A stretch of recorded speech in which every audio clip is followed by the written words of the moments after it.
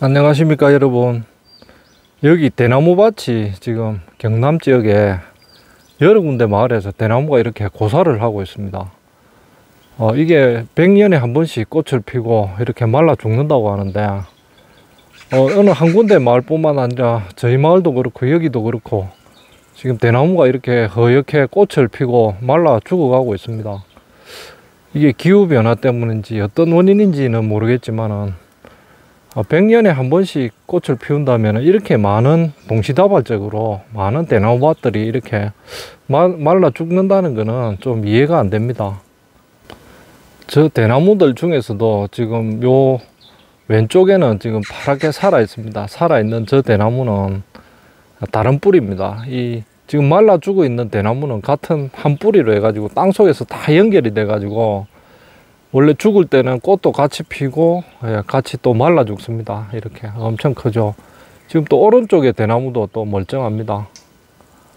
이게 한꺼번에 이렇게 한 뿌리에서 나와 가지고 한 생명체라고 봐야죠. 우리 지상으로 보이는 거는 대나무가 뭐 수백 그루 이렇게 솟아 나오지만은 실제 뿌리는 하나밖에 없기 때문에 하나로 다 연결되어 있어서 같은 한 뿌리라고 보시면 되겠습니다.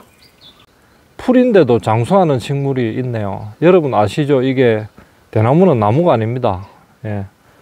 그 벽과 식물, 단연생 풀이죠. 쉽게 말하면. 예, 나무가 아닌데도 어, 100년의 꽃을 한 번 피울 정도로 오래 사는 그런 단연생 식물이고 여기 남부 지방에서는 그렇게 춥지 않아서 겨울도 잘 견뎌내는 예, 그런 대나무입니다. 이렇게 보시면 대나무의 큰 이파리는 지금 다 떨어지고 이렇게 작은 꽃이 피고 이렇게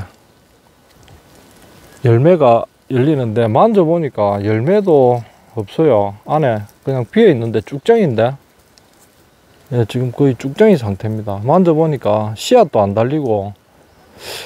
어, 그래서 이 사람들이 어, 이 대나무가 지금 최근에 많이 말라 죽어가고 있습니다. 꽃이 피고. 그래서 그 원인을 두고 상당히 이제 여러 가지 의견들이 많이 있습니다. 대나무가 이게 어, 기후재앙 때문에 스트레스를 받아서 그렇다. 그런 이야기도 있고, 어, 어떤 분은 또 비가 너무 안 와가지고 말라서 그런 거다. 아니면은 또 겨울에 너무 추워가지고 올 1월 달에 여기가 영하 한 16도까지 떨어졌습니다. 그렇다 보니까 겨울에 대나무가 춥고 여름에는 덥고 스트레스를 받아서 빨리 이렇게 죽는 게 아니냐 하는 설이 있습니다.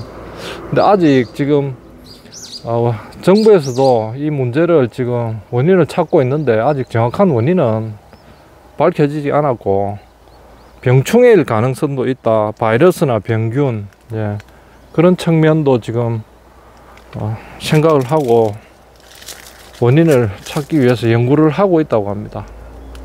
예, 여러분, 저도 이거 대나무 꽃 핀 거는 중학교 때 한번 봤는데, 그때 한 40년 전이죠. 예, 그때 대나무 꽃이 한번 핀 적이 있는데, 야, 그 이후로는 대나무 꽃을 한 번도 본 적이 없는데, 최근에 이렇게 대나무들이 다 여기 경남 지방 쪽에 고사를 한 대나무 밭이 눈에 엄청 많이 보입니다. 그래서 이게 정상적인 그런 현상은 아닌 것 같고 이렇게 한꺼번에 많은 대나무 밭이 꽃이 피고 말라 죽는다는 거는 뭔가 이유가 있을 것 같습니다. 네, 꽃이 핀 자리가 보이죠. 봄에 꽃이 피는데 지금은 꽃이 지고 어, 지금 씨앗도 아마 다 떨어진 것 같습니다. 이 쭉정이처럼 이렇게 만져보니까 아무것도 없거든요. 그래서 아, 참 이게 좀 뭔가 자연의 재앙인가 하는 그런 생각도 조금 듭니다. 여러분들 벼에 꽃 핀 거 보셨죠? 한 9월 8월 말쯤 되면 벼에 꽃이 이렇게 핍니다. 대나무도 벼과 식물이라 가지고 꽃 핀 모습이 보면은 벼하고 아주 유사합니다. 벼도 마찬가지로 가을이 되면 이제 모든 양분을 예, 이삭으로 다 올려 가지고 꽃을 피고 예, 죽게 됩니다. 저희 고향 동네도 보니까 이 대나무가 꽃이 피었다고 처음에는 다 말라 죽던데 또 다시 또 새로운 씨앗이 떨어져서 몇 년 있으면은 대나무가 또 이렇게 울창하게 자랍니다. 그런데 이게 이제 시간이 좀 걸리죠. 한 몇 년 걸려야 다시 대나무 숲이 이렇게 울창하게 자라게 되는데 이게 무슨 원인인지 참 저도 깝깝합니다. 이렇게 많은 대나무들이 지금 이렇게 꽃을 피워 가지고 유독 작년에 조금 본 것 같고 올해도 예, 이렇게 심합니다. 여러 마을에 있는 대나무들이 말라 죽어가고 있습니다. 이렇게 말라 죽어가고 있다 보니까 지금 죽순 같은 경우는 하나도 안 보입니다. 이제 나무가 이미 이제 나이가 들어가지고 이제 원래 나무가 죽기 전에 이제 다음 세대의 씨앗을 만들어 놓고 자기가 죽는 거거든요. 그래서 여기 보면은 이제 대나무들은 죽순 자체가 이쪽 대나무 밭에는 한 개도 안 보입니다.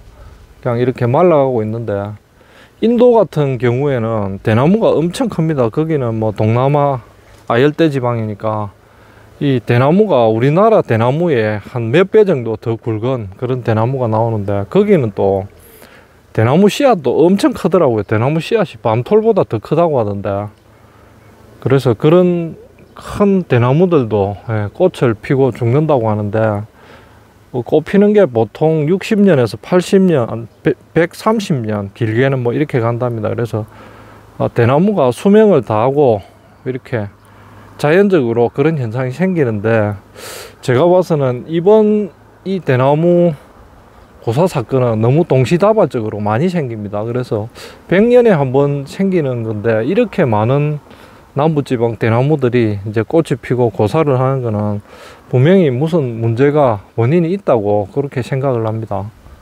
여기도 지금 대나무가 꽃이 피고 하얗게 말라가고 있습니다. 여기 대나무 아래쪽에 보면은 이 작은 대나무들도 지금 꽃이 펴가지고 큰 이파리는 다 떨어지고 이렇게 조그만한 이파리만 예, 이런 식으로 붙어 있습니다. 대나무가 이제 완전히 망했죠. 우리 저 대추나무 오래되면은 죽순 핀다고 하죠. 예. 그것처럼 대나무도 대추나무처럼 이렇게 작은 꽃이 피고 이렇게 작은 잎들이 올라오면은 이제 병이 들어서 거의 수명이 다 돼서 이제 죽더라고요. 여기 보시면 지금 대나무가 허옇게 지금 다 말라 있죠. 예, 하얗게 말라서 지금 여기도 다 죽어가고 있습니다. 여기 도로가 바로 옆인데 이쪽 마을에 보니까 대나무가 고사한 데가 여러 군데 보입니다. 아마 곧 대나무가 넘어지겠죠. 넘어지고 이제 다시 또 씨앗에서 새싹이 올라올 것 같습니다. 어쨌든 이런 원인은 좀 밝혀졌으면 좋겠습니다. 오늘 영상은 이것으로 마무리 짓고 다음에 또 인사드리겠습니다. 감사합니다.